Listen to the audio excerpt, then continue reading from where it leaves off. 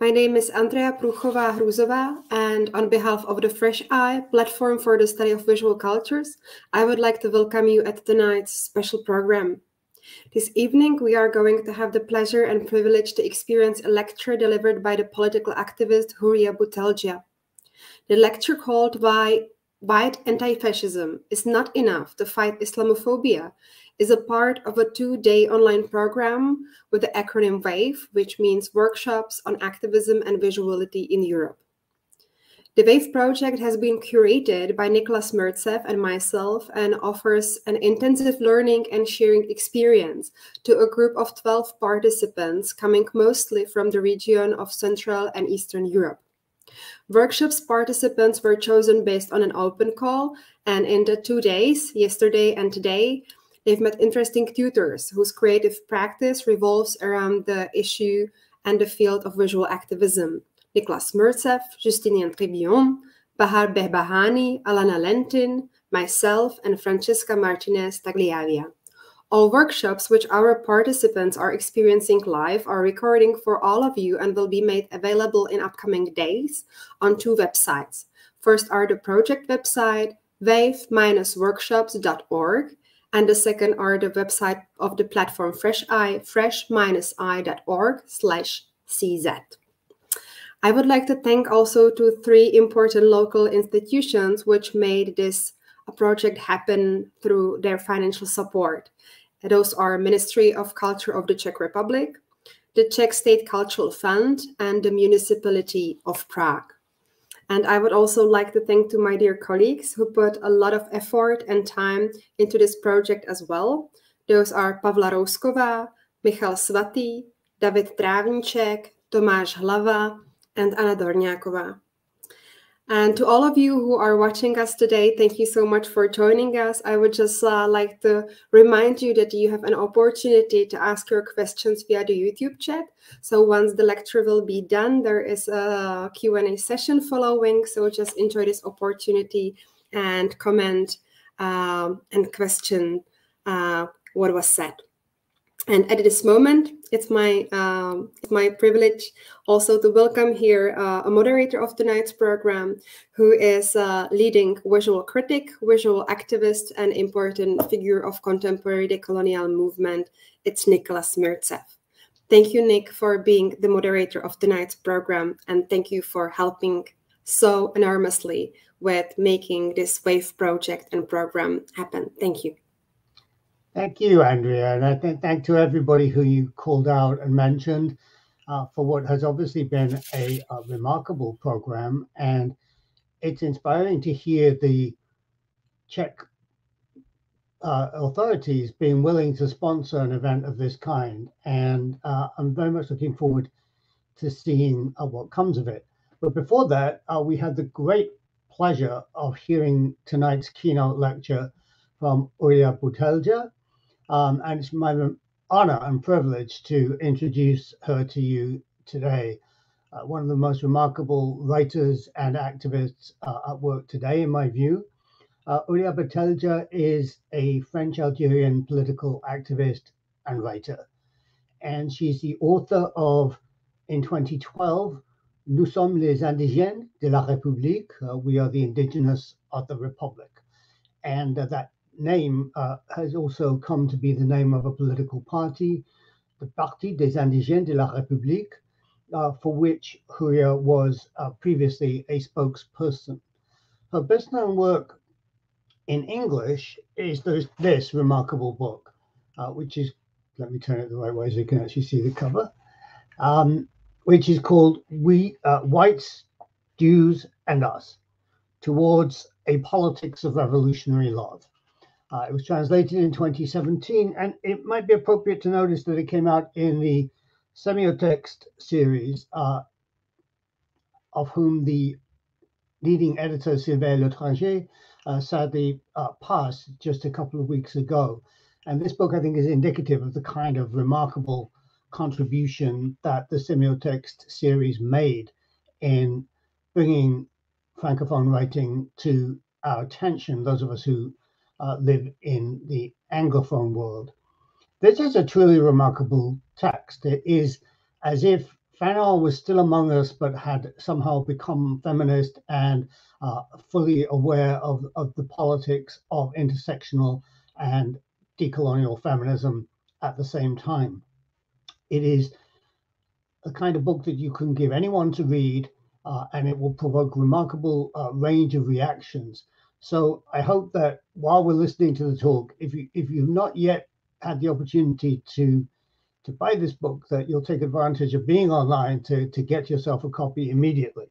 She, in the text, Bouteldja addresses herself to to Jews, to whites, to to women, to the people, and speaks from the point of view of us, the indigenous, uh, which is of course not my us. And she speaks to us in the way of in the way in which Descartes and French philosophy claim an I. And I just want to read you a little passage just to give you a sense of what we're about to experience. He says, It is this I that will from now on occupy the center. I think, therefore, I am the one who decides. I think, therefore, I am the one who dominates. I think, therefore, I am the one who subjugates, pillages, steals, rapes, commits genocide. It is now my enormous privilege and pleasure to welcome Houria Bouteldja to speak to us this evening. Uh, and there will be an opportunity for comments and questions afterwards. And I'm sure that we'll, many of us will want to participate in that. Welcome, Houria.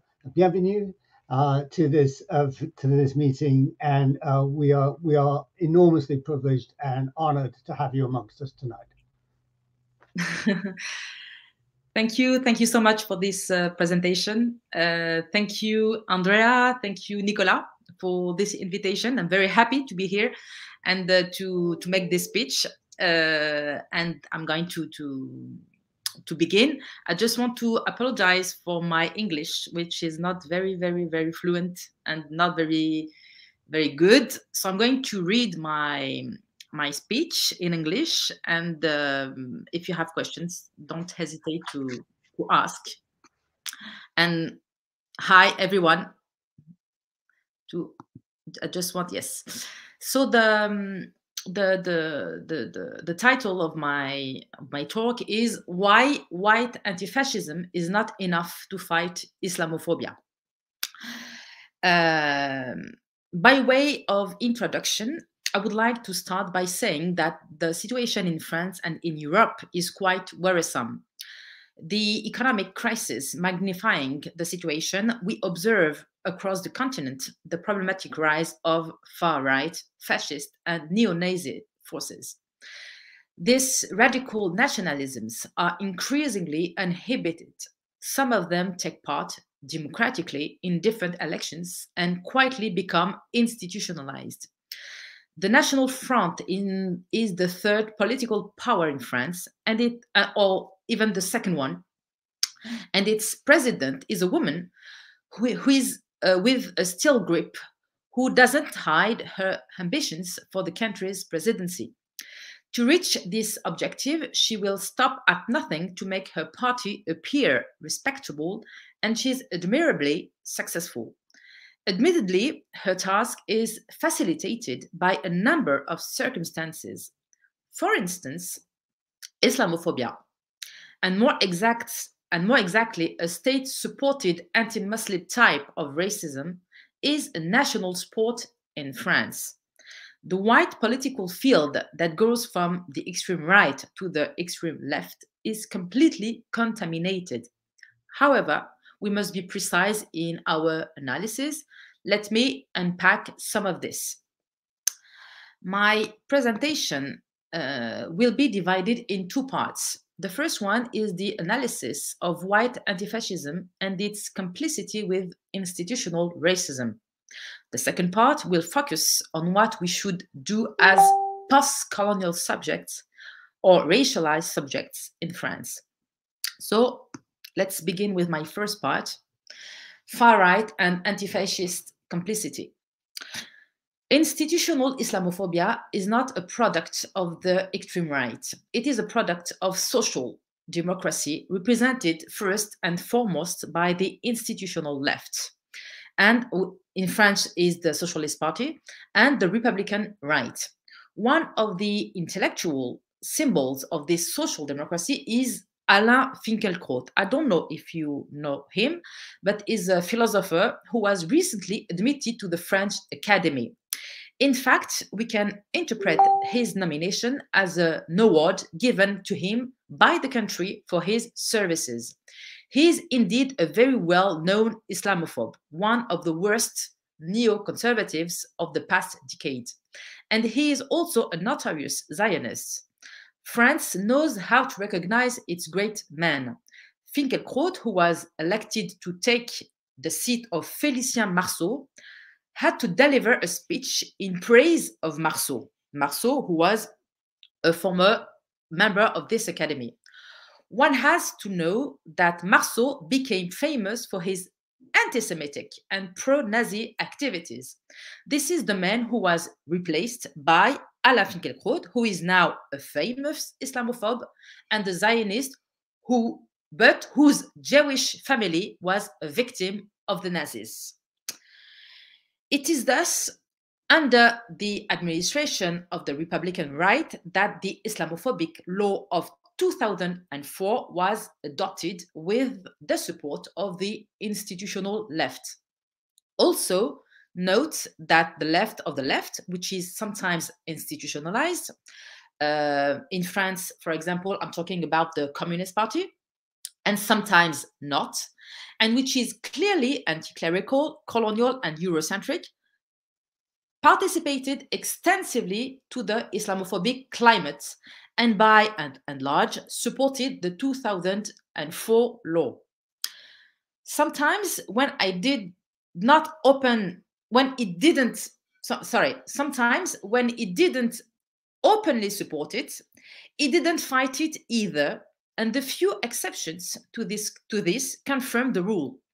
In addition, apart from a small minority, which includes anti fascists and libertarians who fought really Islamophobia, a large part of the most radical and most anti fascist fringe of the French left continues to, su to suspect Muslims and veiled women and continues to repeat the mantra neither God nor master. This old slogan may have been relevant in the past when the church was in power but is completely ridiculous today when we know that Islam is not a state sponsored religion and is rather the religion of the new proletariats, the subordinate classes, and the poorest of the poor, who anti fascists claim to defend. Several years ago, far right groups took part in a series of aggressions against veiled women in the suburbs of Paris and this resulted in very few reactions. Only women were targeted. Anti fascists didn't react much, and neither did the feminists, if we exclude a small minority of them. I would like here to offer some explanations to better understand why this is so. And I would like to give uh, three explanations. The first explanation most anti fascists do not consider anti racism as a political but as a moral struggle. Thus, they do not understand the idea that anti racism is a fight against an, inst an, institutional type of oppression and not against the individual feeling of feelings of malicious individuals. Anti racism includes anti colonial resistance, the struggle against apartheid, in South Africa and racial segregation in the United States. Most anti fascists do not understand such unity. To be fair, there is an evolution since the development of what we call political anti racism, which is a movement that is led by people like us, and also since the death of George Floyd in the US. This is for the first explanation. The, the, the, the second one most anti fascists do not understand the notion that post colonial populations' decolonial struggles are a major component of the fight against fascism. Such populations should be treated as equals and not as a protected species, which they own with their own agenda and priorities. The third explanation most anti-fascists do not understand the idea that Muslims are victims and that Islam is a dominated religion, both within Western liberal democracies and outside of them, in the context of imperialist relations. Rather, they see the sign of fascism in expressions of conservatism and religious dogmatism. These are shortcuts, but these but they are effective. These were my three explanations to understand the um, why anti-fascists are not uh, fighting Islamophobia. The result of this state of affairs is that there is no spontaneous solidarity between white anti fascism and non white anti racism. Sometimes they are in conflict with, with each other. In the past, in fact, there has been collusion between anti fascism and imperialist forces against those struggling for independence. Here are three famous infamous examples in history, and I would like to stress them because they are very important. The first one is in 1973 in France, the Popular Front, which emerged from anti fascist movements but became a powerful popular movement representing the working classes, dissolved the North African Star. In France, in France, in French, l'Étoile Nord-Africaine uh, an organization who fought for the national independence of Algeria and against the indigenous code, a set of laws creating an inferior legal status for natives of French colonies. The motive was that the North African Star had dealings with the fascists. The truth is that on the colonial questions, the Popular Front was barely reformist and not at all revolutionary. Let us remember the Blum-Viollette Bill, who promised to give the right to vote to 20,000 20, indigenous people, but which was not even endorsed by the Senate. As for the indigenous code, it was left untouched. Although also anti fascists do not claim being part of that experience, the Popular Front remains an example of a from above type of anti fascism. It is crucial to set the historical record of this type of anti fascism in order to break with its reformist and therefore colonial component. As the Algerian nationalist politician Messali Hadj had warned, he said, under quote, a popular front government will have to abandon the privileged race policy which has up to now inspired the entire legislation and administrative organization of the colonies. It was under bracket, it was a, a quote. The second uh, historical example uh, Uh, a, a, second example of misunderstanding between anti-fascists and anti-colonialists is that European anti-fascists helped the war helped the war effort against Nazi Germany in collaboration with their respective states. Many anti-colonialists from the Maghreb and from Africa more generally have refused to participate in the liberation from the Nazis because they didn't understand why they had to restore democratic imperialisms.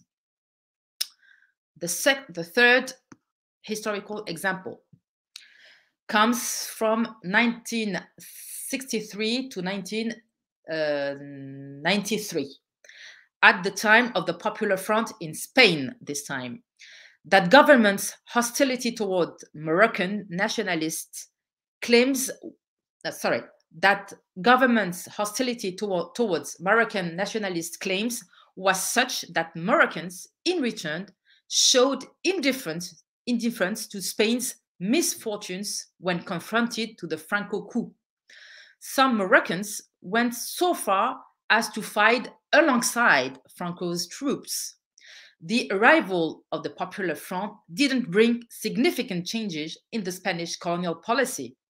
In addition, this government ended up depriving itself of a rare support, the Moroccan people, who could have changes the game with regards to Francoism. Here, we see that the class interests of the proletariats and European anti-fascists didn't correspond to the interests of the wretched of the world. It is possible to overcome these contradictions because it is obvious for me that fascism is the enemy of post colonial people, Muslims, as well as the white and non white working classes. For this to happen, it is necessary to render coherent anti fascism and anti colonialism, anti fascism and anti racism. But all this will remain theoretical if anti fascism is not decolonized. It is urgent for anti fascists to update, that is to say, to face their whiteness.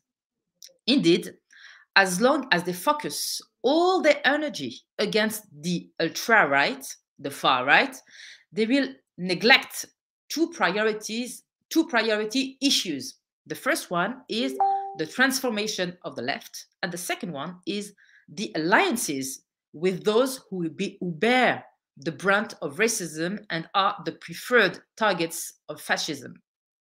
Worse, they will be complicit in fascism if they claim otherwise, if they claim otherwise from their radical facade. However, if we tell them today you will have to consider alliances with bearded men, veiled women, and maybe even with mosques, they will have a heart attack. We are obviously very aware of this. This is why I think that alliances are built under pressure and within power relationships. This means that we must create our own political existence and imagine, invent our allies.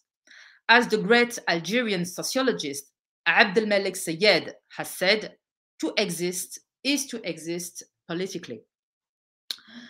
So I jump now to my second part. Uh, the first one, if you remember, was uh, far right and anti fascist complicity. Now, the second one uh, is decolonial res resistance. I'm just asking a question because I have a problem with my computer. I'm coming.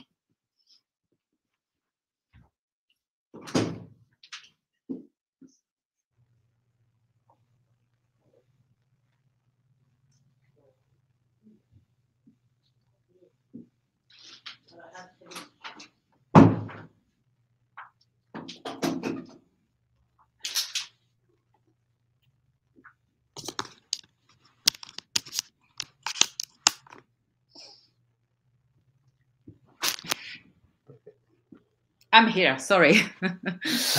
No uh, I'm here. it's it's okay with my computer. Don't don't worry. So uh, the second part is uh, decolonial resistance. Uh, it's a part when I want to to to stress how to confront politically all this. Uh, as uh, Frantz Frantz Fanon taught us, a society is either racist or is not.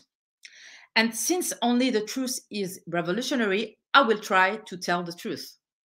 Indeed, since I belong, I'm talking about myself, since I belong to a racist society, and France is a, is a racist society, and I'm part of this whole, the racism that structures and that structures it infiltrates me.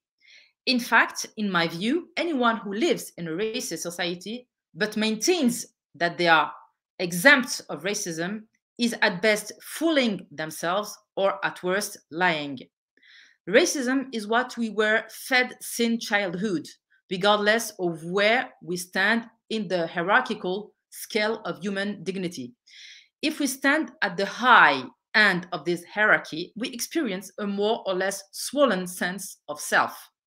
Our only ambition often is to preserve this dominant position. But if we are among those who endure racism, then we tend to feel a somewhat incurable hatred of ourselves. What subaltern groups yearn from the most is to cleanse themselves of this of the indignity in which they are placed and to elevate themselves on the ladder of the said hierarchy, even if it means trampling on those who are beneath them.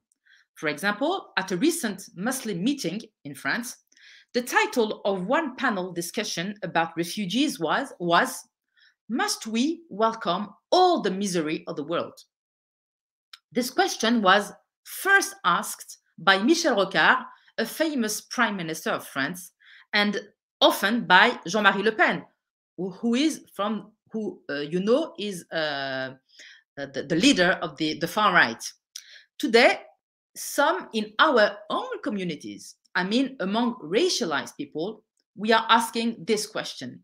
To me, the question is obscene, particularly when we are products of painful stories of exile, and particularly when we are not entirely innocent as European citizens of the wars France is waging in our name, and it must be said here, indirectly in our interests.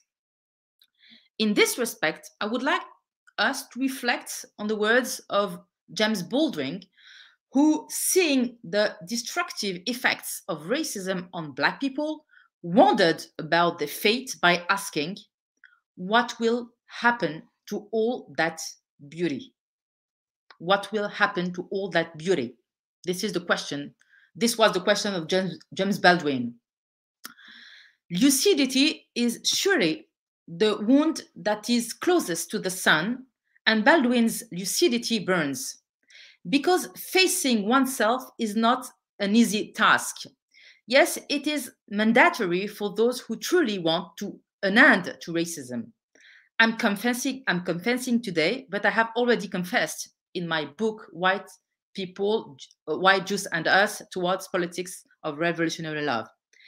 In a chapter of the book, I fault Jewish people, Jewish as product of the history of anti-Semitism, who have somewhat tended to integrate into this society despite their revolutionary history. Here is what I wrote. The worst part for me is not here. After all, what you surrender is up to you to decide. The worst are my thoughts when my eyes meet a child wearing a kippah in the street. That fleeting instant when I stopped to look at him. The worst is the disappearance of my indifference towards you, the possible prelude of my own internal ruin. It was a citation, and I finished it. These are two ways of interpreting this passage White Left's way of interpreting it, or Baldwin's, Baldwin's one. Needless to say, the prevailing mediocrity favored the former. The later, more challenging interpretation is gaining influence. It demands, like Aimé Césaire, like Aimé Césaire, that we look for the small Hitler inside of us, and not only in the far right, precisely because racism is systematic. In other words, in a racist society, we must resist integration. We have to be conscious of our own deterioration, uh, our own gradual decline. In fact, we are not hoodlums. We are the ears of the immigration uh, I don't know if I if I pronounce uh, if I if the if the pronunciation is good. In French is hérita, héritier in, in in French, but in English H E I R S. We are the heirs. I don't know the I don't know. Sorry, of the immigration struggles that preceded us and that shape France every day. And with this heritage, we observe the Gilets jaunes movement. movement. I don't know if I have to, to explain what is the Gilets jaunes movement. No? It might be an idea just to, if you have time, just just just to, to maybe some people are not familiar. That would be yes. Kind. It was it, it was a, um, a, a, a movement um, in France that took place two or three years uh, before, and it was uh, riots from the subaltern classes, but white subaltern classes. It was a big. It was. It was. Uh, a, a, big movement and, and, and quite violent. It was against the state, against the, the fact that uh, uh, life is, is becoming very expensive for, for subaltern people. So, le, le mouvement des Gilets jaunes. So, and so, and with this heritage, we observe the Gilets jaunes movement. With our long experience in struggles, we carry a message to the social movement that is being violently clubbed today by the police and the French government. The French intellectuals and the Gilets jaunes movement do not understand the absence, the absence of non-white people. It means Africans and Muslim people.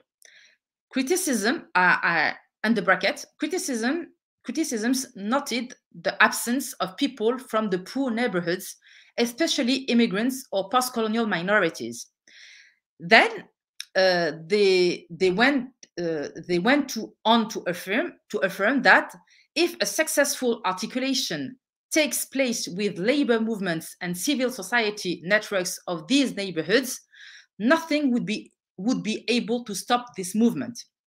Frédéric Lordon, who is a French leftist and very interesting intellectual, one of the most white radical intellectual, gave an important speech in which he stressed that the current social movement must face two plagues the violence of capitalism and racist identitarian violence. Well, we are on the same page. But what must be done for this accurate observation to become effective and not remain confined to the realm of, abstract incantation? So, what should we do? Let's imagine that there are two dis dis distinct power logics in our society. The capitalist one is based on generating as much money as possible. And the geopolitical one is based on accumulating geopolitical power by imposing order on a national territory and building military, industrial, and commercial power against other nations. Two forms of um, rivalries emerge here strictly economic rivalries, competition between private enterprises, and military political diplomatic ones, competition between nation and superpowers. We can also say that the spread of modern imperialism is a result of these two logics working hand in hand. Capitalism, uh, capitalists finance state policies, public loans, weapons, industries, enterprises of colonial exploitation. In return, states use their power to advance the interests of their national business sectors. The workforce that was co coerced into slavery through the slave trade, forced labor in the colonies, the destructions, the destructuring of agricultural communities in the third world, oil as a key motive for invading Iraq and Afghanistan to ensure that it remains outside the control of the region's people. Broadly speaking, capitalism is born out of the power politics of nation states and nation states gained power with the help of modern capitalism. Now, consider that one of the pillars of these geopolitical logics of power is race. I said this because on the global scale, a hierarchy separates the world into dominant rival nations and dominated ones, which have become the hunting grounds of the dominant nations. The stakes here are crucial. Race is the note of alliance between the modern state and big business capital. Capital. Capitalists' value creation and nation states' political power are tied together by race. In this way, state personnel, high ranking officials, chiefs of police, military staff meet capital through race. By following its national racial internal logic, the state serves the interests of capitalists. It does, it does so by pursuing an imperial policy, continuing to advance national economic interests, through diplomatic, trade, or military agreements. This is what France does with its weapon industries, and its big industrial group specialized in aeronautics and nuclear power, or through what we call the France-Afrique, the relation, the relation between France, the, the colonial relation between France and its former colonies in Africa. We, we call it La France-Afrique.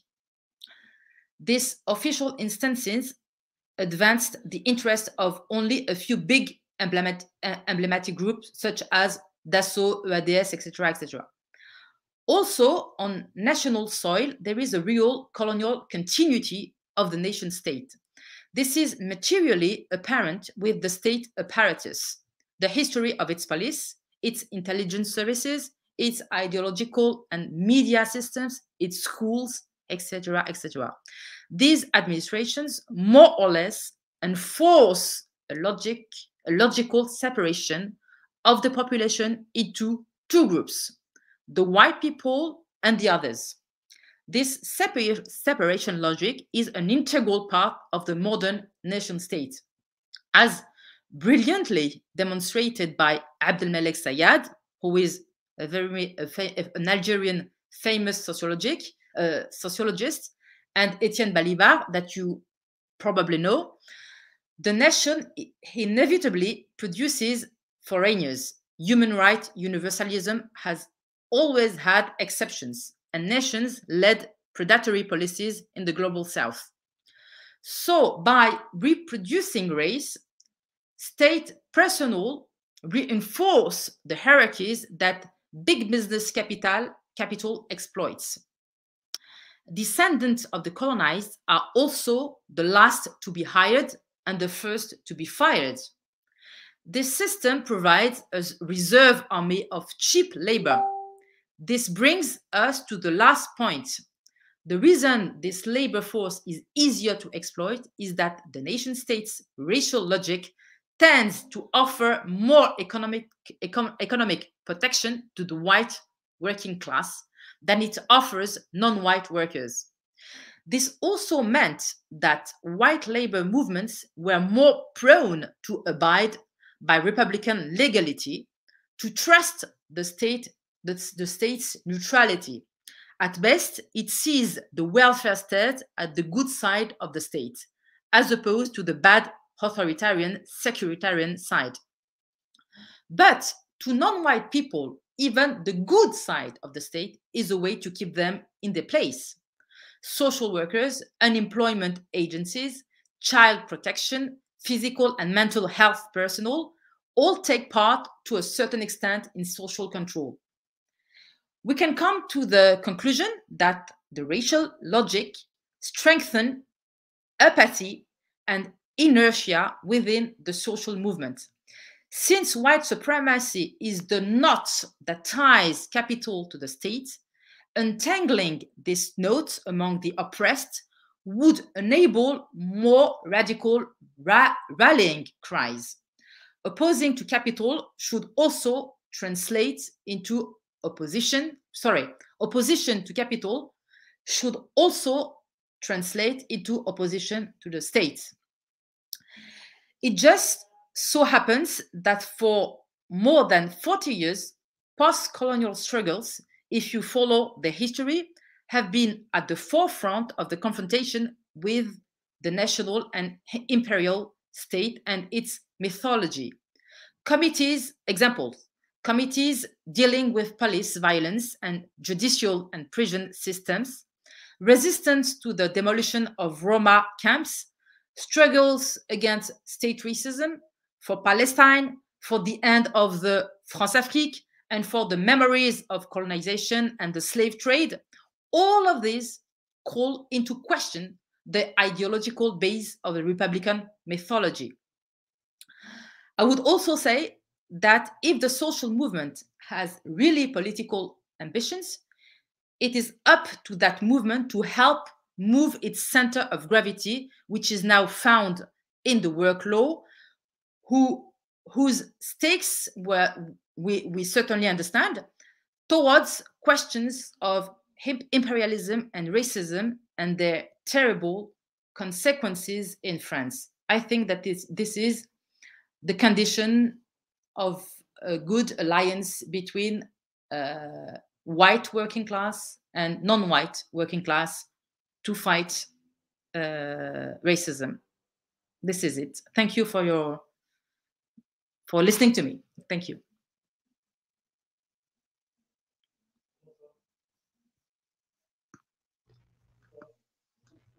Thank you so much for that uh, really rich presentation.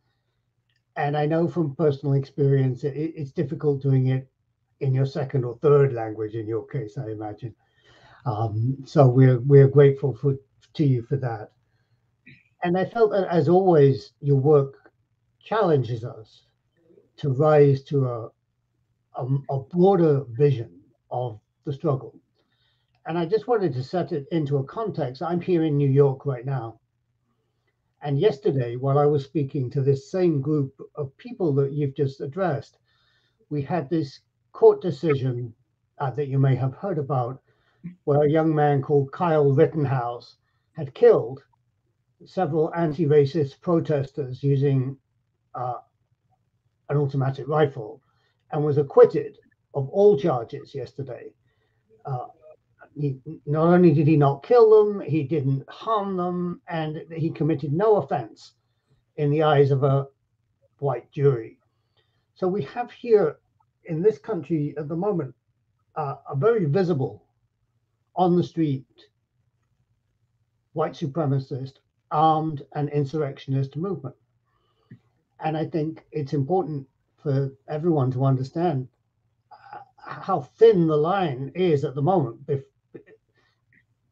between where we are now and, and an overtly fascist regime that is very likely to to come back into power. And I felt that in your presentation, where you talked richly about the way that the logic of race depresses our movements and fails to prevent them coming together. I thought that was a resonant, resonant part of your presentation. And I just wanted to to take my privilege as the chair to ask the first question here. And I wanted to make, I saw many parallels, obviously, between what's happening in France and Western Europe and what's happening in North America right now. And I wanted to ask you just a little bit if we could maybe draw on some of that in the sense that one of the main focuses here has been the removal of the racist symbolic order, statues and other memorials, and the attempt to uh, repatriate cultural property.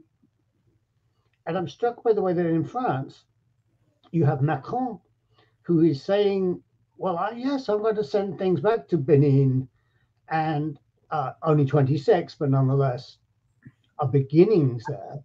At the same time as you have this very wide ranging racist movement that you've described. And it seems, as, as with many things in France, it seems a contradiction to those of us outside. We feel like, how are these two things happening at the same time? Is it just not, how is it perceived, this return of cultural property? Um, does it not require in some way an understanding of colonialism and racism in order to understand why these things must be returned? Or are they being returned as a kind of gift from the empire uh, to to the formerly colonized? How do you understand what's going on with that? I think I think this is I think that this is um, a compromise.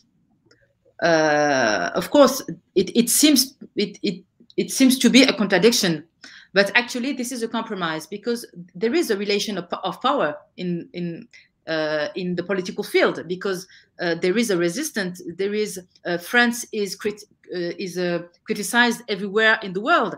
France is crit is criticized in Africa, but France is also challenged in Africa.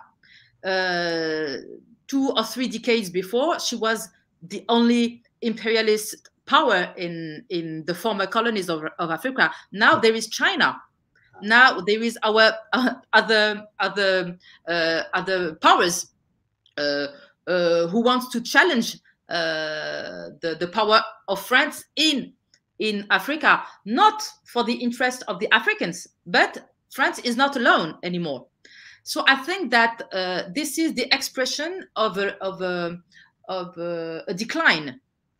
I think that France has to do a, has to do compromises, but they are only symbolic. Sure. They are only symbolic. Sure. It's not uh, it's not a question of of, of big money. Never. It's not a question. Of, you understand? This is symbolic. She she she she's okay. France is okay to do symbolic things. Okay, she she she she can uh, acknowledge a certain uh, uh, the, a part of the history. She can acknowledge that uh, colonialism was not so good sometimes, but not always. Understood. Do you think? I mean, what we would call here racial capital, you know, following Cedric Robinson. How do you feel that these quest- questions of the can be described as what is the limit of, of the symbolic in understanding what racial capital is and what it does? You spoke very p- powerfully and I thought movingly about the challenge to the self that all of us, whoever we may feel that we are, have a challenge, you know, to to work on our ourselves in relation to others because we cannot be outside the racial regime. And uh, you, you wrote about that and you spoke about it today.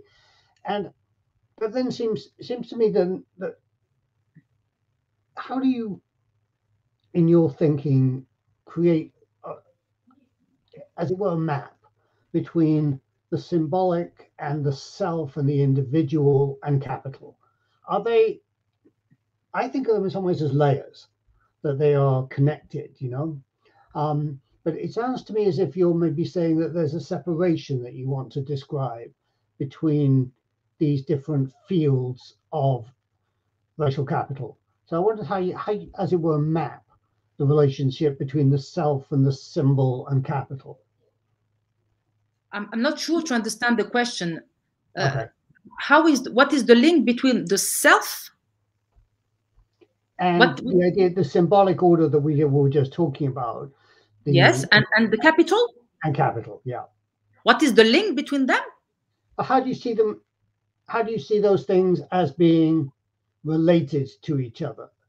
What are the um, connections and the separations?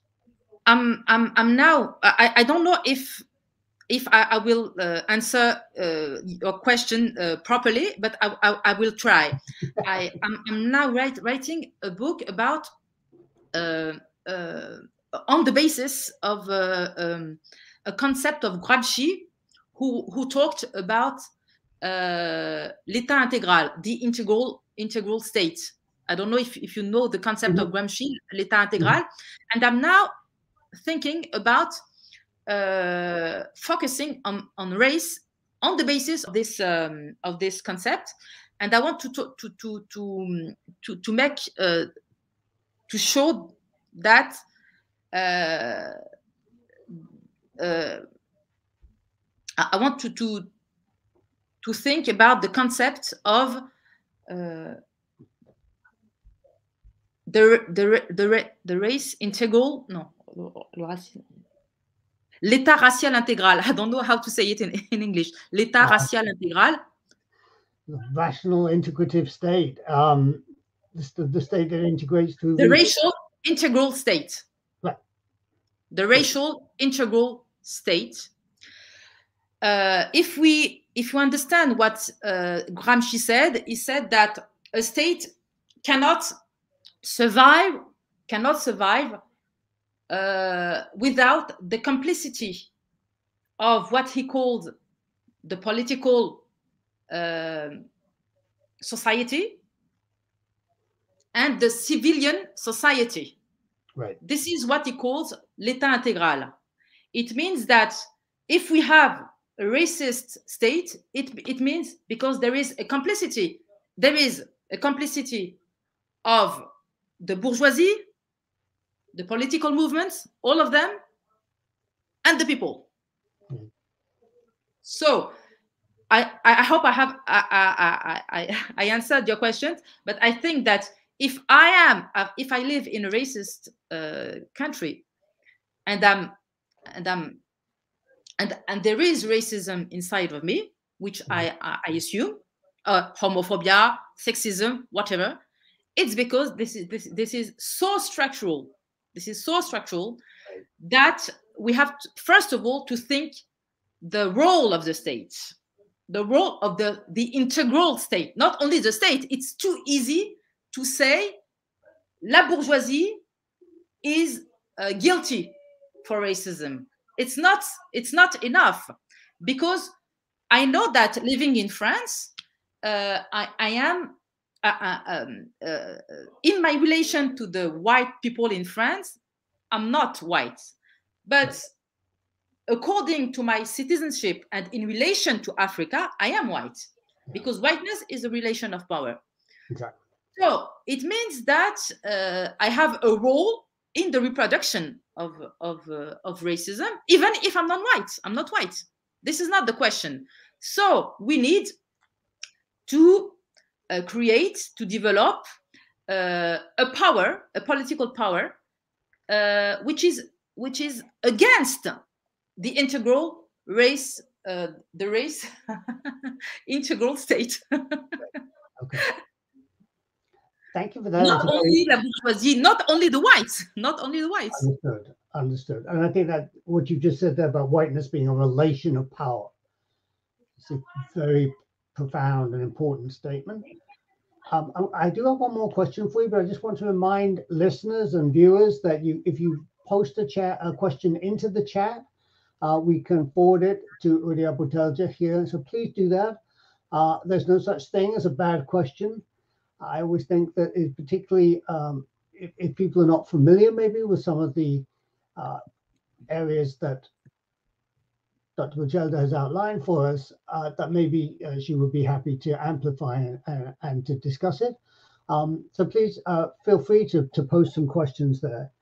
Uh, and I was I just wanted finally um, in, in, my own thinking just to to um, to think a little bit more about the question of Islamophobia and its relation to to these logics. And I thought uh, very powerful the way that you spoke about Islamophobia being produced from within the heart of, of social democracy. Uh, Finkielkraut, uh, who is, has a long history of being complicit with Zionism and, and, and so on.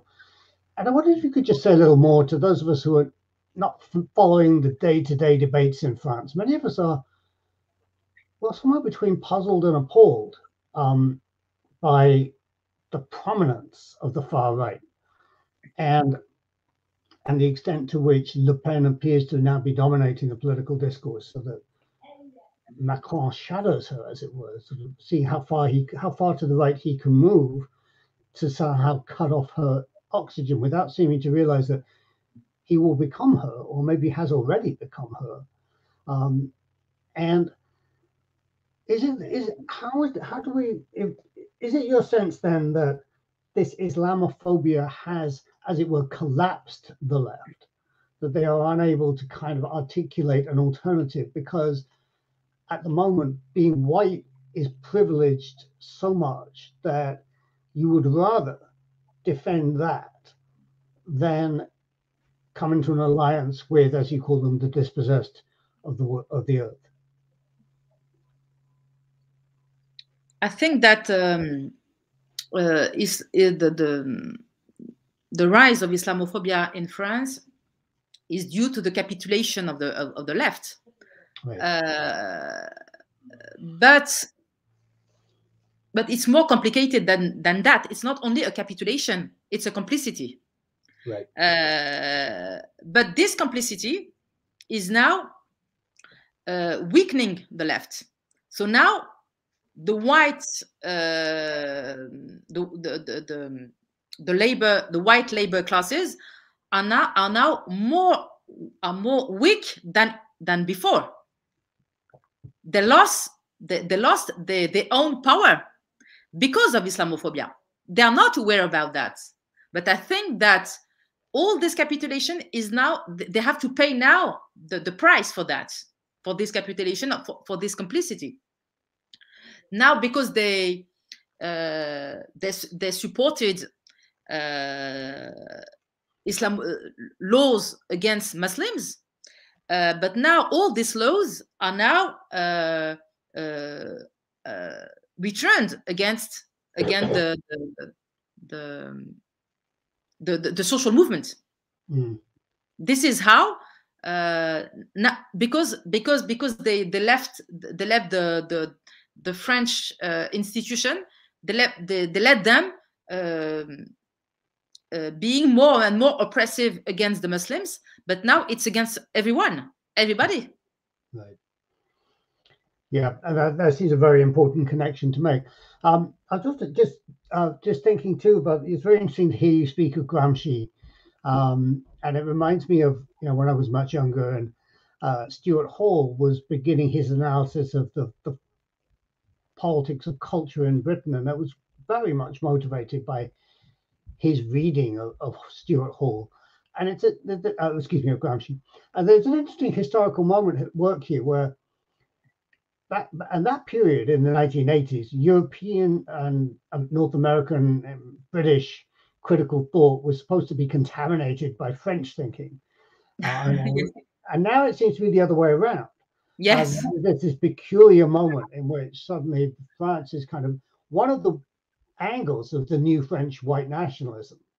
Yes. Seems to be saying keep out these terrible American and uh, other Anglophone ideas that are so corrupt. And uh, it's, it's really quite striking to see this historical swing. Do you see that as being part of this new nationalism? That, yes. Yeah. Definitely. Definitely you talked you talked about uh, semiotext and uh, that the, uh, and uh, about the fact that uh, Sylvère Lotringer, yes, it, it's true, he, he, he was dead uh, several weeks ago. He was mm-hmm. a great man and introduced the French theory in in the US. now, if he want if if semiotext wants to to to to promote a French thinker, I think now it's impossible. wow. Well, I mean, with with some exceptions, present company very much included. Um, clearly, the clearly the uh, it can't all have disappeared in that sense. I mean, there must be the legacy of the of. I mean, you've spoken about about the history of the Algerian War, uh, and and written about that, and and it, it will be the 60th anniversary of Algerian independence quite shortly. Yeah. Uh, and I wondered if how the resonance now of the of the the, the war of independence feels in the context of this intense debate over over whiteness and Islamophobia now. Will you will there be a, a celebration? Do you think of of the independence movement and, and, its association? Will it perhaps create some historical resonance, or do you think France will simply try and ignore the whole thing? I think that um, Islamophobia is a product of the Algerian War. Ah. I think this is a continuation of the Algerian War, of course. Uh, it, it is very clear for me.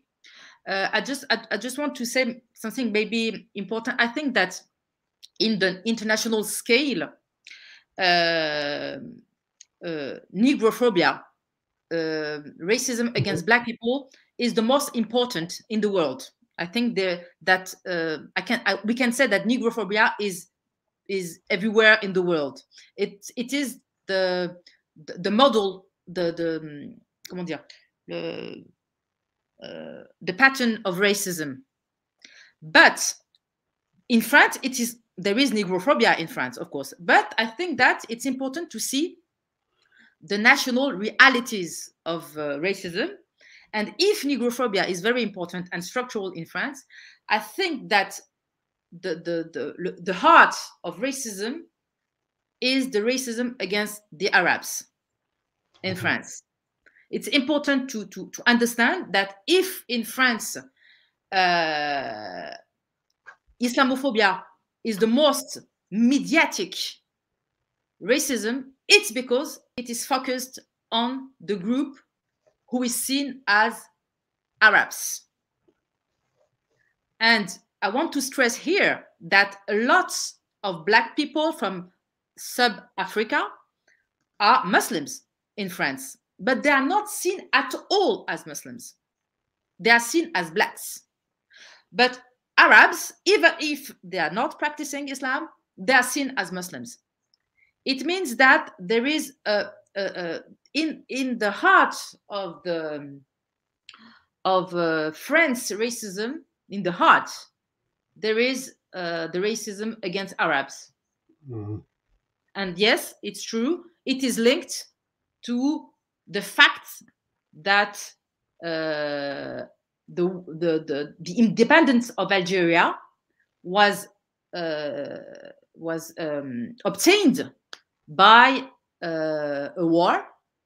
And it was, and the Algerians won this war. and this is a trauma in France.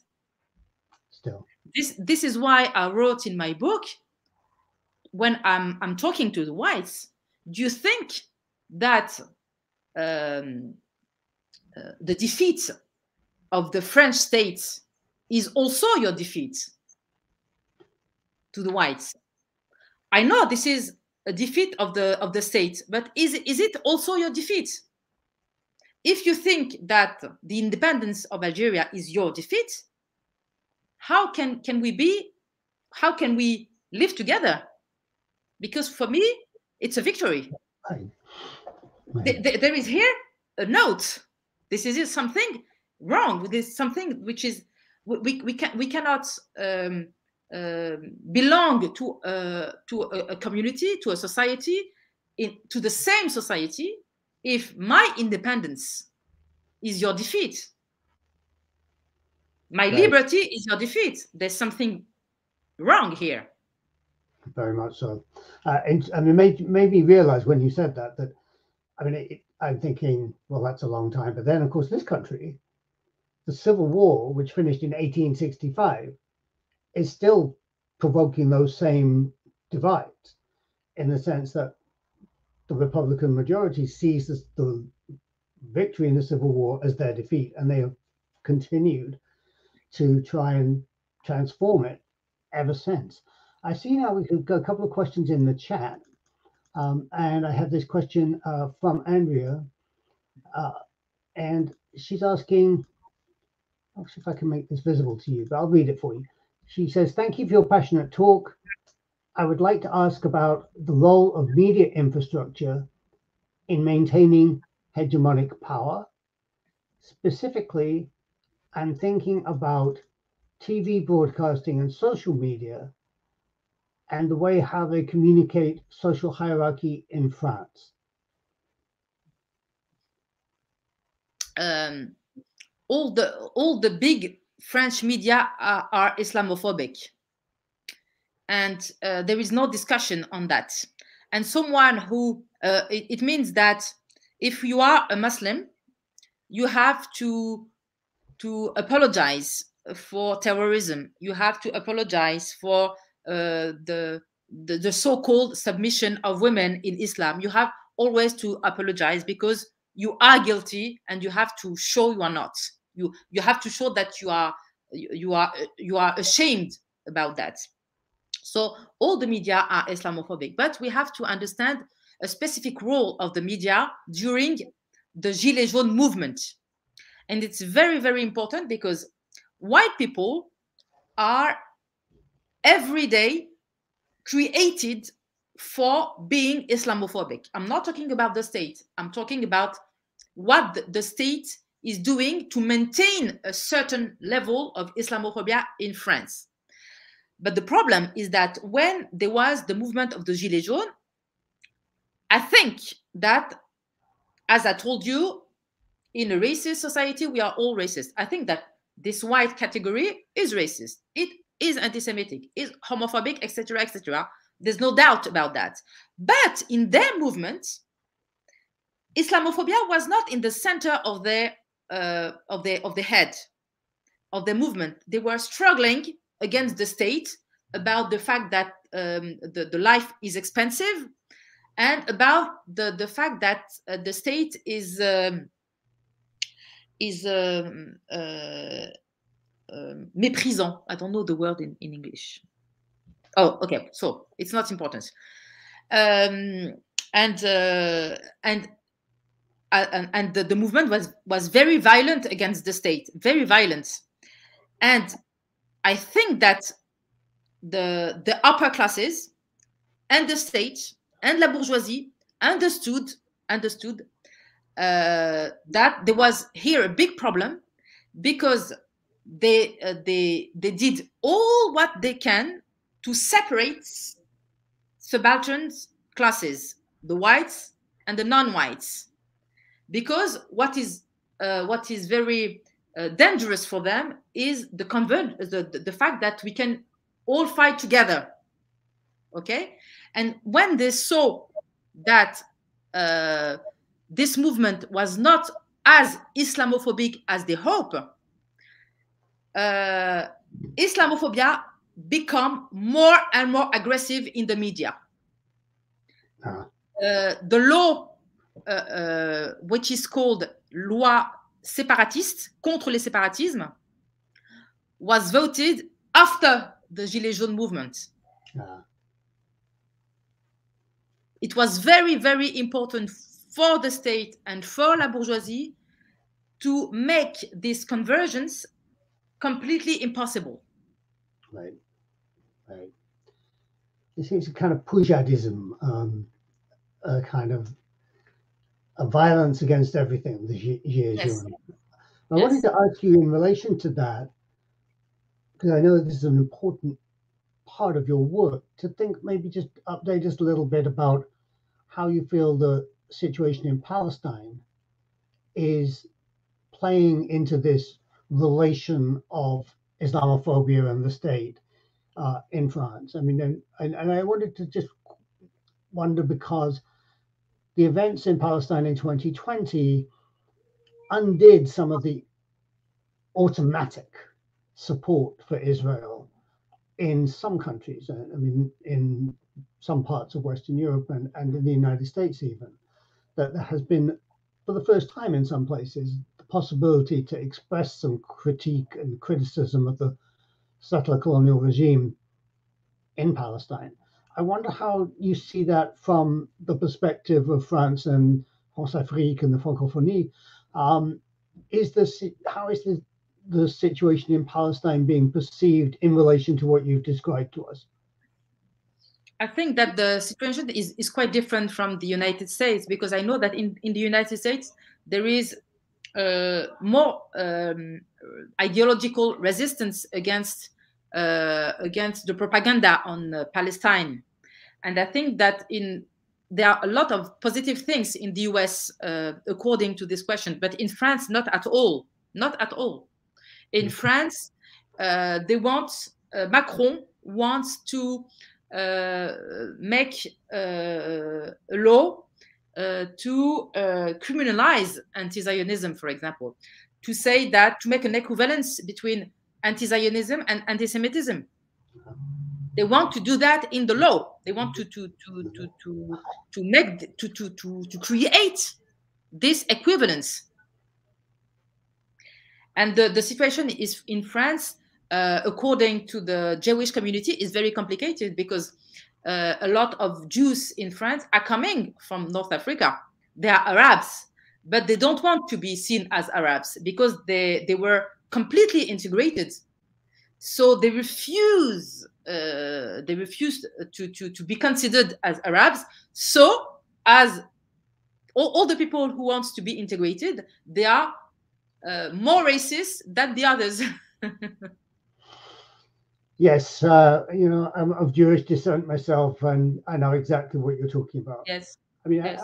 I, I, think it's there's something about that word community that's often very dangerous in this context. It seems to me that it's clear that there is no root community because there's so many divisions and yes and tensions within it. And yet, as soon as you say the Jewish community this or the the white or whatever it may be, suddenly rhetorically you're in a position of dominance that those of us who are kind of considered to be outside, we're not religious enough, or we don't perform Jewishness enough, don't count.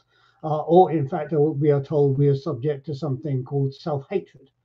Yes. Um, and you know th- that has always struck me as a strange formula because who is what is it that is hating the self?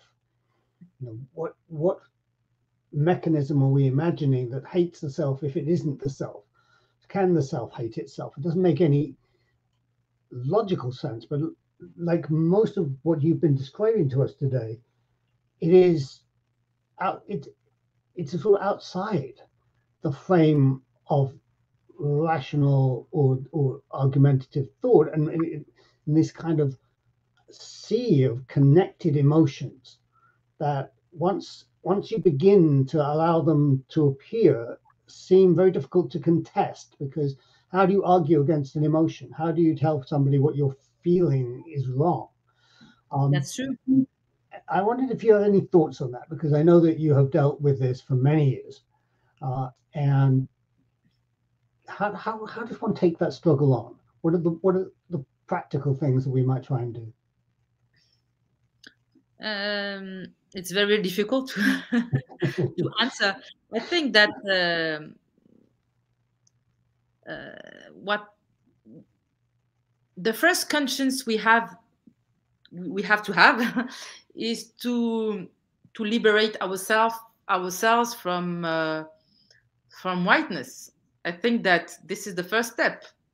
If you don't, if you if you want to belong to whiteness, you are uh, you are defeated from the beginning. Do you know that in France, the first challenger to Marine Le Pen, who is from the extreme right, is a Jew from Algeria, Eric Zemmour. Yeah. He is more fascist than her, and he said, and he said uh, that uh, Pétain, you know Pétain, Pétain didn't didn't kill Jews in, in, in France. He's the first one in France. Only the far right can say that, and but the the extreme far right, uh, Mar Marine Le Pen, who who wants to to to go to the presidency, cannot say that. She can't say that in France. Right. It's impossible. But him, as a Jew, and as a candidate for the presidency, and he's very famous, he said, Pétain is not a problem for me. It's incredible. It's incredible. And the far right uh, is, is so grateful for that. They're so happy to have a Jew who said that. And he, and it's he incredible through the media, and if I'm thinking, if I'm right, am I not? That he's he has a television show, doesn't he? Ah, he's always on the on the TV shows. Always, he's very Islamophobic, uh, but is also Judeophobic. Yes, of course. Yes, is also Judeophobic. And what is and what is the difference between him and uh, Jews who are Zionists in France is that is is not he's not for Israel. He's not really Zionist. Why? Because he wants to become completely French, completely white, completely, and is is not.